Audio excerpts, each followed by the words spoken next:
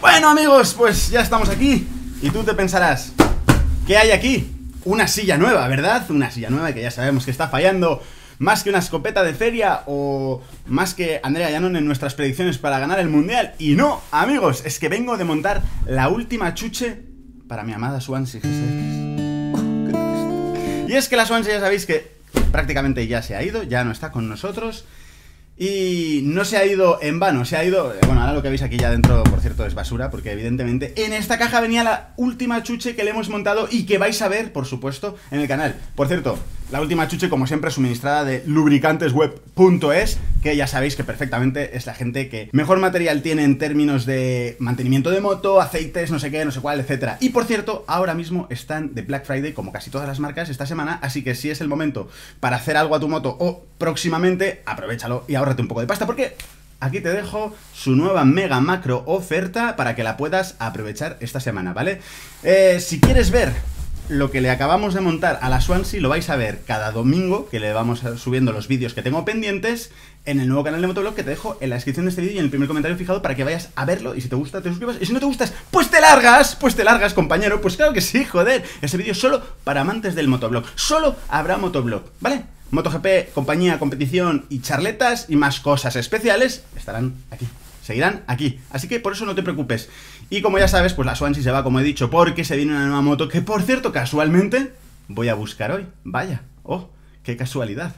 Esa nueva moto, como ya digo, eh, la verás también en el canal nuevo de Motoblog, así que si quieres verla es muy importante que te suscribas a ese canal, como ya he dicho, y la traeré en cuanto me sea posible, si todo va bien, ¿vale? Pero antes, como ya he dicho, tengo varios vídeos grabados con la Swansea y esos los verás en el canal. Eh, como siempre, en el canal de Motoblog nuevo, ¿vale? Y veréis pues cosas que son muy importantes, sobre todo si te gusta esa moto y si alguna vez te has planteado comprártela, puede que te ayuden porque vamos a contar muchas cosas que no mucha gente te cuenta. Y ahora sí, una vez dicho, adiós lubricantes web, ya sabes... Uy, madre, cómo ha sonado eso de mal, la roto. Ya sabéis que si os interesa, pues link en descripción, lubricantesweb.es, tampoco hace falta dejarlo en la descripción, un, eh, eh, un link tan sencillo, ¿no? Evidentemente, para que os compréis las chuchas que más queráis y durante esta semana, pues Black Friday y demás. Y también hay Black Friday de MotoGP, hermanos. Y es que hoy tenemos que hablar de varias cosas, pero antes de hablar del tema principal, ¿vale? Quiero eh, contaros, pues, cosas que se nos quedaron pendientes. La primera es que hace calor, hace bastante calor, aunque no lo parezca. Pensaba yo que tal, y, para que luego me digan, ¿eh? Que no, no, hay, pasta aquí para la calefacción, hermanos. No hay pasta ni para una silla nueva como para que haya para la calefacción. Tampoco os preocupéis, porque eh, hoy se está bien. O sea que hoy no vamos a pasar frío. Y de todas formas, eso es una sudadera, ¿eh? No es una chaqueta. Que luego me dicen, no tiene ni para ni para poner la calefacción. Pues no, hermano, soy pobre, soy pobre. Pero, eh, arriba esos pobres, ¿eh? De corazón.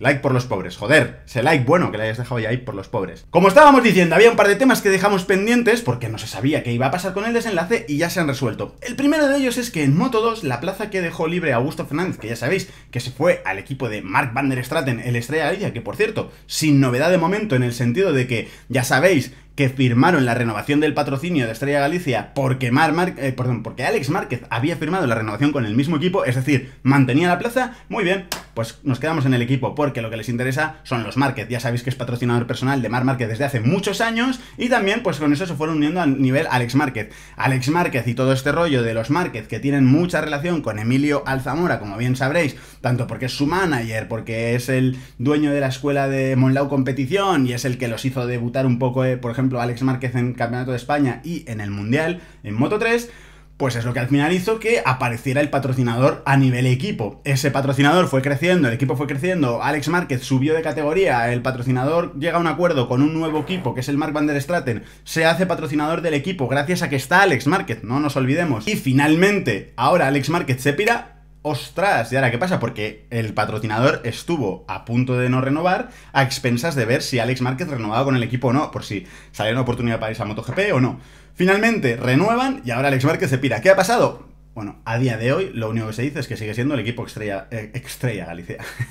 Estrella Galicia. Así que el patrocinador de momento sigue. No se va, no se va, ¿vale? Pero ojo, eh, ya hemos visto muchas cosas que seguían, no se iban y al final se han ido. No esperéis que se mantenga. Puede pasar cualquier cosa en cualquier momento. Alex Márquez se va, deja un hueco vacío, parece que lo va a ocupar Zarco. Zarco finalmente parece que ha fichado, aunque aún no es oficial, pero es evidente que sí, eh, como ya os hemos contado muchas veces, por el Avintia Racing Team, que el Avintia Racing Team a su vez echa a Karel Abraham precisamente para hacer ese hueco para Joan Zarco. Karel Abraham que dice, bueno, pues tengo 30 años, me retiro, me habéis jodido la vida, sois unos cabrones, tetes. Pero no, porque el poderoso caballero es don dinero. Y ahora le aparece una oportunidad para ir a Superbikes. Por si alguno no lo sabe, hace unos cuatro años, Karel Abraham ya estuvo en Superbikes, pero lo hizo francamente mal, en un equipo discreto, pero encima él lo hizo peor, ¿vale? Por eso al final, pues gracias a caballero don dinero, ya lo sabéis, poderosísimo caballero, eh, volvió a MotoGP.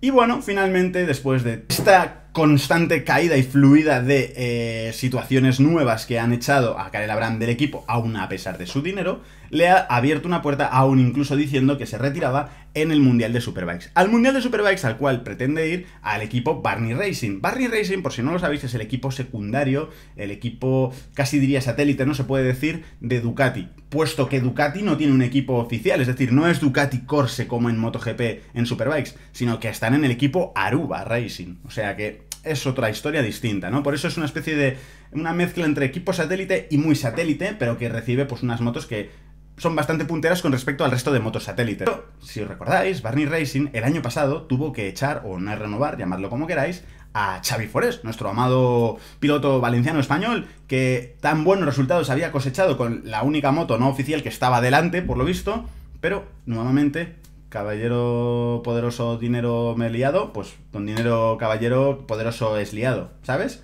Básicamente, eh, el Bernie Racing necesitaba dinero, Xavi Forés no podía poner dinero porque además es uno de los pilotos que cobra, aún no siendo oficial. Entonces, el Bernie Racing, ¿qué hace? Pues, un momento, voy a, me la voy a jugar con la silla, pero me estoy... Ahora, me estaba rompiendo la espalda. ¡Uh! Hemos pegado pequeña bajadita, pero aguantamos, bros. Fuera bromas, como hemos dicho, eh, le acabaron echando el año pasado después de cosechar los mejores resultados de un piloto satélite por no traer pasta. Finalmente trajeron a Rinaldi, etcétera, etcétera. Hoy, eh, con todo esto, ¿qué queremos decir que se sabe? Pues que el Bernie Racing era un equipo con poco dinero porque primero solo tenía una sola moto en el equipo y ahora mismo, precisamente por esa razón, se le ha abierto la posibilidad a Karel Abraham de fichar por ese equipo y volver a Superbikes. Porque Caballero don dinero, poderoso caballero don dinero es. ¿Me vuelvo a liar? No, es broma, es broma, es broma. Sube, pequeña, sube, no bajes más, va. Y bueno, lo dicho, eh, se le ha abierto una posibilidad de que pongan una segunda moto que evidentemente me huele a mí a que la pagaría prácticamente íntegra eh, Karel Abraham. Tiene esa posibilidad, lo más probable es que se lo haga repensado después del arrebato y de no ver posibilidades, pero con dinero se abren un montón de puertas que no se abren incluso ni con talento. Así que finalmente parece que tendrá una moto que ya se verá. Que esto nos viene perfecto porque además todo es un acontecimiento en cadena. La historia es que Alex Márquez dejó esa Moto 2 eh, vacía, que la ocupó de repente, de la noche a la mañana, eh, Augusto Fernández, que después de haber demostrado esa revolución en la última temporada, pues ahí está, ocupando una de las motos supuestamente más punteras de Moto 2 del Mundial. Claro, esto deja otro asiento muy importante vacío, que es en el que estaba él, el equipo de Sito Pons. Y encima, prácticamente ya constatado como eh, piloto número uno, a pesar de que Baldassarri tenía antes ese puesto, ese lugar, eso ya había desaparecido, porque Baldassarri, pues bueno, muy inconstante, incluso además había quedado por detrás en el campeonato de Augusto Fernández. Así que se le va el piloto número uno a uno de los mejores también equipos de Moto 2 del Mundial. Pues bueno, ¿qué, ¿qué, hace Pons? Pues buscar en la recámara, que es un especialista del mismo sitio del que trajo a un Augusto Fernández que nadie conocía y por el que nadie daba un duro, trae a un Héctor Garzó, que viene del FinCEP de Moto 2 y de haber estado corriendo la Copa E, ya sabéis que lo llaman así, la Copa Mundial E. La Copa del Mundo esta, que no es ni campeonato de motos eléctricas, por desgracia, no porque las motos no valgan, lo dejo bien claro por si eres un amante de las motos eléctricas, sino porque el campeonato da asco, está más mal montado imposible, pero bueno, esperemos que siga evolucionando positivamente si quieren seguir en la competición, y bueno, pues trae a Héctor Garzó, pero ojo, porque le, le pone a prueba, y le dice, vente a hacerte estos test, que es un poco parecido a lo que hizo con Augusto Fernández, y a ver qué tal funcionas, si funcionas bien, nos pensamos si te quedas. Parece ser que les ha gustado todo lo que ha hecho en los test y se ha quedado. Así que oficialmente Héctor Garzó ya es piloto del Sito Pons en el Mundial de Moto 2 para el año que viene y bueno, ya le ha llegado la oportunidad. Es el típico chico que parecía que se le empezaba a hacer tarde después de hacerlo muy bien durante muchos años en FinCEP, en el Campeonato de España, en muchos sitios y que no acaba de tener una oportunidad en, en las categorías punteras, ¿no? Porque estar en la Copa E del mundo pues está muy bien, pero no tiene nada que ver. Evidentemente solo hay que ver lo rápido que ha corrido y se ha ido de ahí en cuanto le ha salido una oportunidad buena, ¿no? Así que enhorabuena para Héctor Garzó, por supuesto, y ahora el tema eh, quizás más mm, sonante de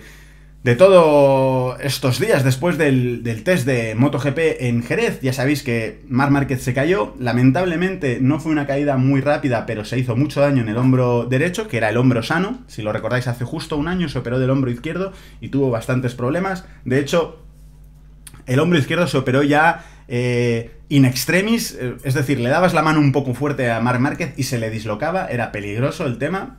Porque claro, la mínima caída suponía verdaderos dolores, verdaderas lesiones, y esto es delicado, ¿vale? Porque claro, imagínate que ahora no puedas ni caerte ni a 10 kilómetros por ahí, saberlo. Ya no vas rápido, entonces era un tema delicado. Esto no ha sido de esta caída solamente, que es lo que ahora la gente se cree, sino que venía de lejos. Por lo visto empezó con la caída de Buridam, aquella caída tan bestia que se pegó, que eso sí que se hizo daño. Bueno, pues esto le llevó a empezar a tener la primera subluxación, ¿vale?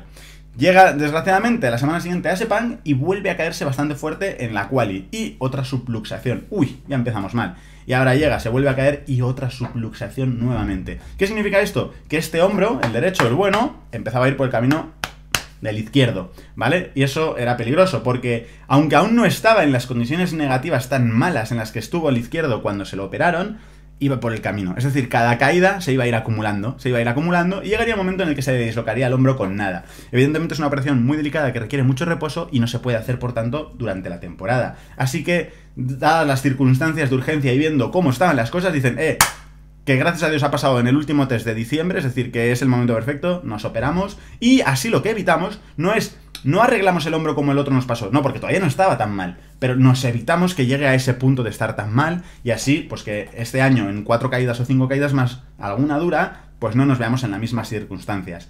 ¿Cuál es el problema? Que ahora va a tener eh, cero pretemporada, va a tener que estar entre 6 y 8 semanas como mínimo totalmente parado, así que a duras penas llegará por los pelos al test de Sepan con 0 kilómetros. Y eso sí llega. Eh, es posible que las cosas se compliquen, aunque dicen que ha sido un poco menos intrusiva la operación que en el otro hombro, por tanto debería de recuperarse antes. Pero lo que está claro es que las cirugías, cuantas más veces te empiezas a recuperar un poco peor, un poco más lento, también un año más de edad, aunque no lo parezca, se nota, todo se va notando, todo, todo va sumando, va sumando y te dejan una situación delicada que es en la que está ahora Mar Márquez, en la cual tiene que reposar un tío que le cuesta muchísimo, le va a costar, veremos en qué condiciones llega al principio de temporada, pero evidentemente si hay alguien al cual no se le puede subestimar por eso, es el mismísimo Mar Márquez, porque ha demostrado ya, si este año ya venía de una pretemporada nula y de situaciones complicadas, y mira la temporada que se ha hecho con la moto tan difícil, pues ¿qué hará el año que viene? No lo sé, pero probablemente te vas a enterar si te suscribes al canal con este botón que te dejo por aquí. Ya sabes que también te voy a dejar otro botón como este para que te suscribas al canal de Motoblog donde voy a enseñar mi nueva moto y las nuevas chuches que ya hemos puesto para finalizar el proyecto de la GSXR dentro de muy poco en la Swansea. También puedes seguir viendo más vídeos como estos, como por ejemplo el de la Swansea o otros más. Y nosotros nos vemos en el próximo vídeo dando más caña. Un abrazo, brother.